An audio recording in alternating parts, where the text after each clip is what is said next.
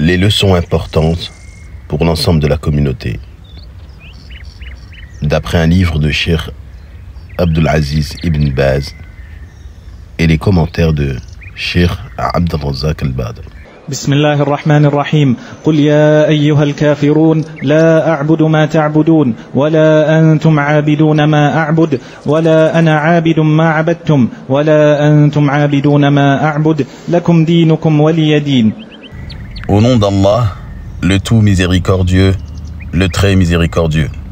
Dis, ô vous les mécréants, je n'adore pas ce que vous adorez, et vous n'êtes pas adorateurs de ce que j'adore. Je ne suis pas adorateur de ce que vous adorez, et vous n'êtes pas adorateur de ce que j'adore. À vous votre religion, et à moi ma religion. هذه السورة سورة الكافرون وهي سورة البراءة من الشرك والمشركين والكفر والكافرين. قل أي أيها النبي يا أيها الكافرون أي بالله سبحانه وتعالى يا من تعبدون معه غيره من الأصنام والأوثان. قل يا أيها الكافرون لا أعبد ما تعبدون. أي من الأصنام والأوثان التي اتخذتموها أندادا وشركاء لله سبحانه وتعالى. Cette sourate, Al-Kafirun, est la sourate du désaveu du polythéisme et de ses partisans, ainsi que de la mécréance et de ses partisans. Dis, toi prophète, ô vous les mécréants, en Allah, ô vous qui adorez avec Allah d'autres divinités que lui, telles que les idoles ou les statues, je n'adore pas ce que vous adorez, comme les idoles et les statues que vous avez pris comme égales à Allah. ولا أنتم عابدون ما أعبد ولا أنتم عابدون ما أعبد مع أنهم يعبدون الله في جملة ما يعبدون لكن العبادة لله لا تكون عبادة إلا بالإخلاص Et vous n'êtes pas adorateurs de ce que j'adore, malgré le fait qu'ils adoraient Allah parmi les divinités qu'ils adoraient, mais l'adoration d'Allah ne peut être considérée comme une adoration seulement si elle est exclusive. فإذا لم تكن خالصة لا تكون عبادة. ومن أدلة على ذلك هذه الآية. فالعبادة لا تكون عبادة إلا بالإخلاص. كما أن الصلاة لا تكون صلاة إلا بالطهارة. فلو أن إنسانا صلى من غير طهارة لصح أن يقال لم يصل. وكذلك من عبد الله بغير الإخلاص صح أن يقال لم يعبد الله. لأن عبادة الله لا تكون إلا بالإخلاص.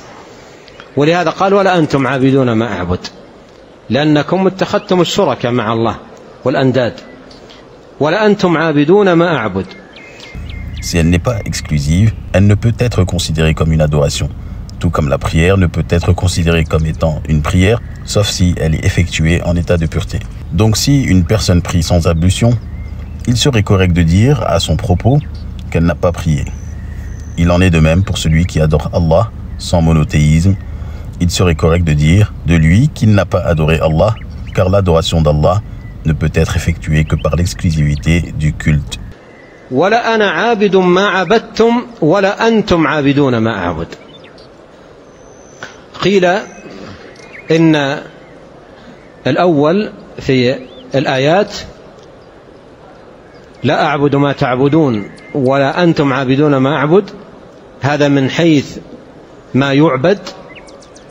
والثاني من حيث العبادة.